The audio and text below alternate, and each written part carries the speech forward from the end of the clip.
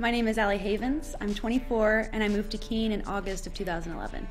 I chose the Free State Project because it was exactly what I was looking for before I even knew the Free State Project existed. I wanted to move somewhere where all the libertarians would be, or at least a sizable amount of libertarians, and that's what I was already looking for. I was doing all these Google searches for like you know town that has the most libertarians and not much was showing up so uh, i found out about the free state project through free talk live and then as soon as i knew it existed i was all in. I knew i'd have to move. Since moving to new hampshire the best thing i think i've done for the effort of trying to make new hampshire into the most libertarian place it could be would probably be my efforts in doing media and doing podcasting Shortly after moving to Keene, I did Ladies in Keene, which was an effort by me and some other girls in Keene to start a radio show to give the female perspective on what was going on in Keene and New Hampshire. But we mostly focused on what was happening in Keene because that's where a lot of the civil disobedience was going on. So me, Cecilia, Kate, and then later Shauna all did the show together, and it was really fun because it was like a sort of um, female centered show about topics that usually we're used to hearing males talk about. So it was kind of nice because we could try to get some more females from around the country involved. The idea behind the show I started with Ellen Ball called ALP was that I was on a bunch of other shows and topics would come up and then I'd want to talk more about it and then everyone would be like, We've moved on, Ali, can we talk about something else?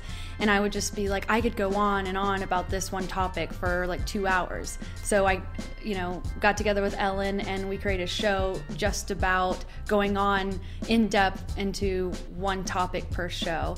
So that was the idea behind that. And we would come up with a new topic every week, do one show per week that lasted two hours because I did those other things, I also was able to get a gig working with Adam Kokesh um, for Adam versus the Man show. So I did just media basically, which I think is the best way to reach people because that's what got me involved in moving to New Hampshire. Currently, I'm working on updating my website, alihavens.com. That's going to be like a landing page for all the things I've done and what future projects I'm going to be part of. My main focus in activism would be doing media because that's what I have experience with. I think that that's, as far as activism goes, what I would be best at.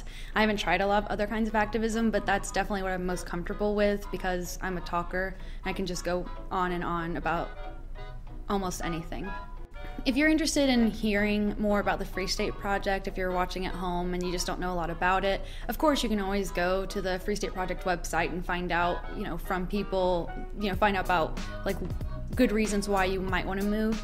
But if you want like a really honest representation of what it's like to live in the Free State Project, you're going to want to check out media from there because what you'll find is that a lot of people might come with a certain expectation. Everyone has different expectations when they move. They everyone thinks it's going to be like the utopia that they imagine, and not that it's not a utopia in a lot of ways. Um, I think people who've moved sometimes take things for granted until they go back home and remember what it was like before they lived in the Free State Project in New Hampshire. Um, but if you listen to people who are making media here, then you get to hear about what all the different struggles are. Um, all the successes and you can kind of live vicariously through them and decide if that's something that interests you. If you think you'd be excited by the same things or maybe disappointed by the same things, you'd get a better idea of what you can expect rather than just sort of creating this vision of your mind of what it would be like to live in the Free State Project. It's kind of like when you have a crush on someone that you don't know very well. You imagine them to be a lot of things, and then when you date them, they might be a little different, better in some ways than you imagined, and you know, maybe different in some ways that you imagined. So it's always good to get to know someone or a state before you decide to just pick up and commit to it.